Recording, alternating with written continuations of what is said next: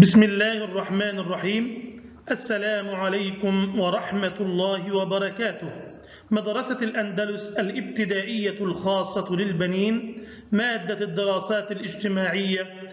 أعزائي طلاب الصف السادس أهلا ومرحبا بكم. أعزائي الطلاب نذكر بالقيمة التربوية لهذا الأسبوع وهي النظافة المدرسية. أعزائي الطلاب النظافة من الإيمان. قال رسول الله صلى الله عليه وسلم إن الله تعالى طيب يحب الطيب نظيف يحب النظافة كريم يحب الكرم جواد يحب الجود. فنظفوا أفنيتكم ولا تشبهوا باليهود. أعزائي الطلاب عنوان درسنا لهذا اليوم الموقع الفلكي والجغرافي للوطن العربي.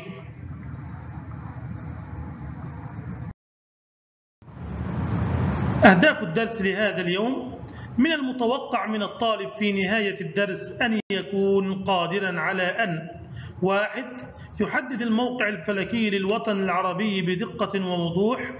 اثنين يحدد الموقع الجغرافي للوطن العربي بالنسبة للعالم بإتقان. ثلاثة يذكر حدود الوطن العربي بالنسبة للعالم بصورة سليمة. أربعة يفسر الأهمية الاستراتيجية للموقع الجغرافي للوطن العربي بدقة. أعزائي الطلاب الموقع الفلكي للوطن العربي. أعزائي الطلاب الموقع الفلكي هو الموقع بالنسبة لخطوط الطول ودوائر العرض. أعزائي الطلاب لو نظرنا إلى هذه الخريطة وهي خريطة الوطن العربي نجد أن الوطن العربي يمتد بين خطي طول 60 شرقا و17 غربا. أي أنه يمتد على 77 خط طول. إذا أعزائي الطلاب الوطن العربي يمتد على 77 خط طول. أعزائي الطلاب أما بالنسبة لدوائر العرض فنجد أن الوطن العربي يمتد بين دائرتي عرض. 2 جنوب خط الاستواء و37 شمال خط الاستواء. أما دولة جزر القمر فتقع بين دائرتي عرض 11 إلى 13 جنوبا. أعزائي الطلاب لو نظرنا إلى خريطة الوطن العربي نجد أن الوطن العربي تمر به دوائر عرض رئيسية مثل دائرة الاستواء ومدار السرطان.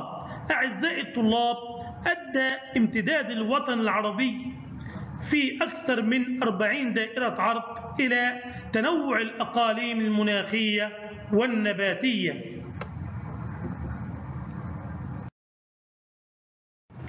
والآن أعزائي الطلاب تعالوا معي من خلال هذه الخريطة نجيب على النشاط في الكتاب المدرسي صفحة 20 رقم ألف دوائر العرض الرئيسية التي تمر في الوطن العربي هي أحسنتم بارك الله فيكم.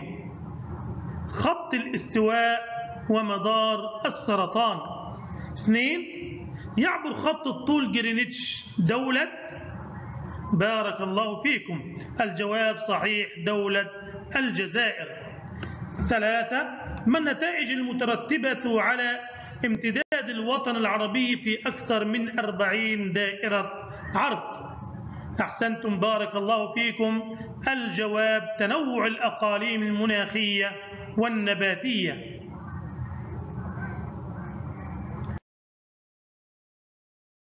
والآن أجب على الأسئلة الآتية. السؤال الأول اختر الإجابة الصحيحة. واحد يعبر خط الطول جرينتش دولة مصر تونس المغرب الجزائر. أحسنتم بارك الله فيكم. الجواب الجزائر.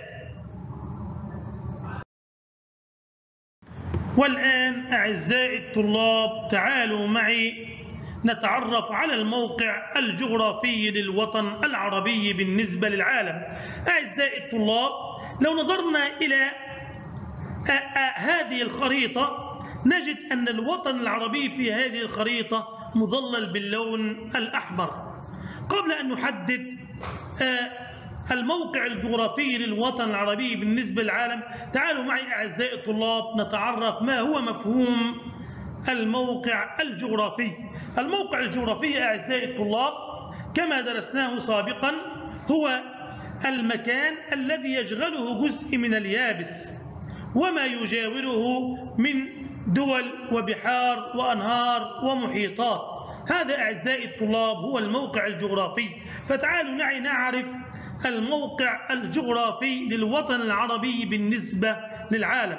لو نظرنا إلى هذه الخريطة أعزائي الطلاب نجد أن الوطن العربي يمتد بين قارتين هما آسيا وإفريقيا.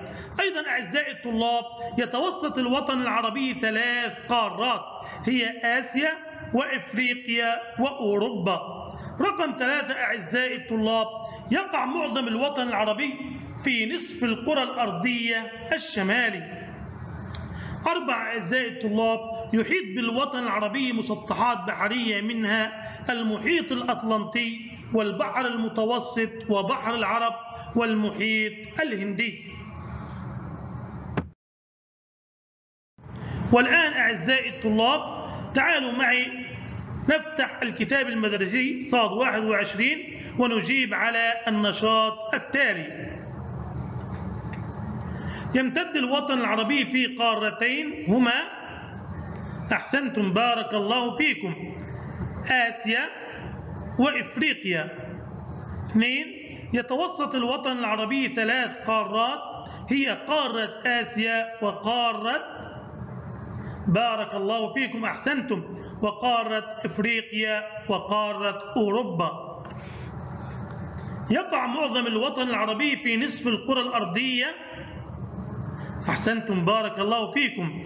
الشمالي تحيط بالوطن العربي مسطحات بحرية منها أحسنتم بارك الله فيكم البحر المتوسط المحيط الهندي المحيط الأطلنطي.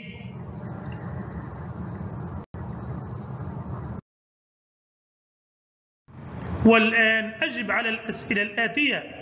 السؤال الأول يمتد الوطن العربي في قارتي آسيا وأوروبا استراليا افريقيا أمريكا الشمالية. أحسنتم بارك الله فيكم. الجواب إفريقيا. والآن أعزائي الطلاب تعالوا معي نتعرف على حدود الوطن العربي. أعزائي الطلاب هذه الخريطة التي أمامنا هي خريطة الوطن العربي.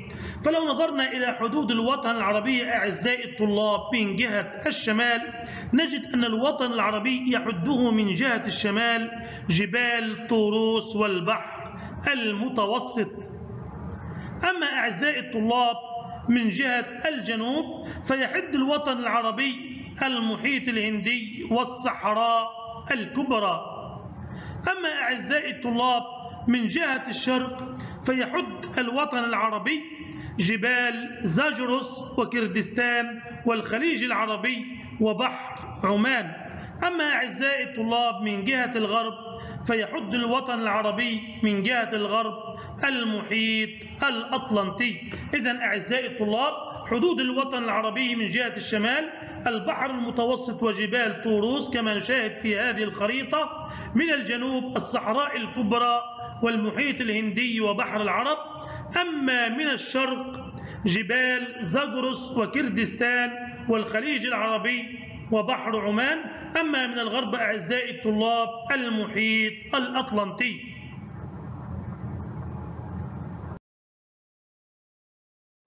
والآن أجب على الأسئلة الآتية. السؤال الأول اختر الإجابة الصحيحة. واحد يحد الوطن العربي من جهة الشمال جبال زاجروس أطلس كردستان طوروس. أحسنتم بارك الله فيكم. الجواب الصحيح جبال طوروس.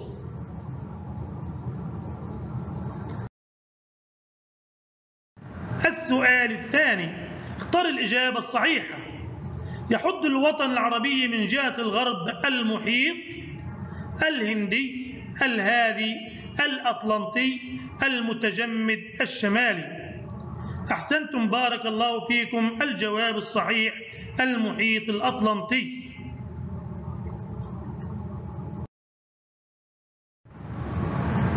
الأهمية الاستراتيجية للوطن العربي. أعزائي الطلاب لو نظرنا إلى هذه الخريطة نجد أن الوطن العربي له أهمية استراتيجية كبيرة وهي تتمثل في رقم واحد توسطه قارات العالم القديم مما جعله مهدا للحضارات القديمة. اثنين امتداده الكبير واتساع أراضيه أدى إلى تنوع موارده الاقتصادية. أيضا أعزائي الطلاب إشرافه على بحار ومحيطات هامة ووجود ممرات مائية استراتيجية أدى إلى تحكمه في طرق التجارة العالمية. إذا أعزائي الطلاب الأهمية الاستراتيجية للوطن العربي توسطه قارات العالم القديم امتداده الكبير واتساع أراضيه إشرافه على بحار ومحيطات هامة ووجود ممرات مائية استراتيجية نتعرف عليها الآن.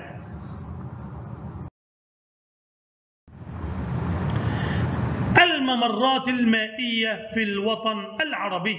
أعزائي الطلاب قلنا أن للوطن العربي أهمية استراتيجية كبيرة وجود الممرات المائية. منها أعزائي الطلاب مضيق هرمز.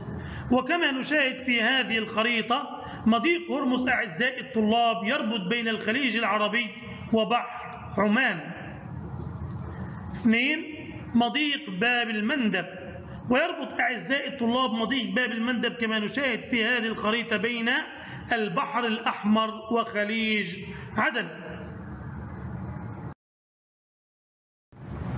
أيضا أعزائي الطلاب من الممرات المائية في الوطن العربي مضيق جبل طارق كما نشاهد في الخريطة والذي يربط بين البحر المتوسط والمحيط الأطلنطي. أيضا أعزائي الطلاب قناة السويس وهذه القناة أعزائي الطلاب تربط بين البحر المتوسط والبحر الأحمر.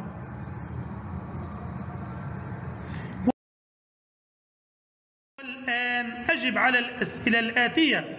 السؤال الأول المسطح المائي الذي يصل مضيق هرمز بالخليج العربي هو بحر عمان بحر العرب البحر الأحمر البحر المتوسط.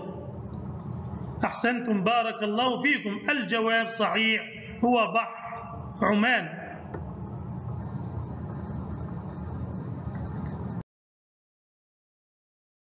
السؤال الثاني وضح الأهمية الاستراتيجية للموقع الجغرافي للوطن العربي. أحسنتم بارك الله فيكم. الجواب صحيح. رقم واحد توسطه قارات العالم القديم جعله مهدا للحضارات القديمة. اثنين امتداده الكبير واتساع أراضيه أدى إلى تنوع موارده الاقتصادية. ثلاثة إشرافه على بحار ومحيطات هامة ووجود ممرات مائية. وبذلك أعزائي الطلاب نكون قد انتهينا من درسنا لهذا اليوم على أمل أن نلتقي بكم في درس آخر دمتم في حفظ الله ورعايته. والسلام عليكم ورحمة الله وبركاته.